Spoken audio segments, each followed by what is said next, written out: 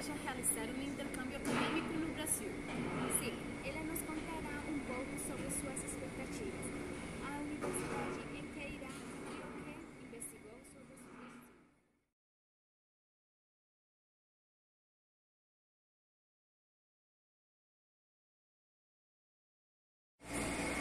Bom dia, qual é o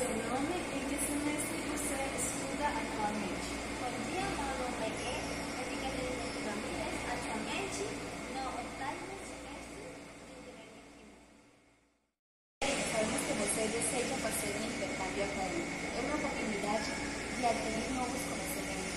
Você poderia nos falar um pouco o, o processo de?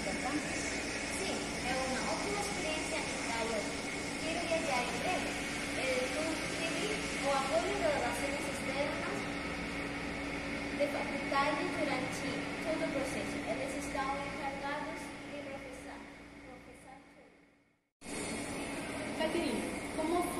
Aprendizado do idioma? Você precisa ter um bom domínio do português para estudar no Brasil? Não foi fácil, já que tive que aprender esse novo idioma em pouco tempo.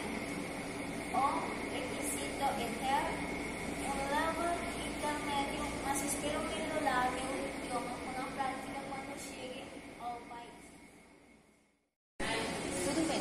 Diga-nos em qual universidade você estudará para intercâmbio acadêmico? Eu vou para a Universidade Federal da Uberlândia. Caterina, você poderia falar um pouco sobre esta universidade e dizer por que a escolheu para realizar seu intercâmbio acadêmico?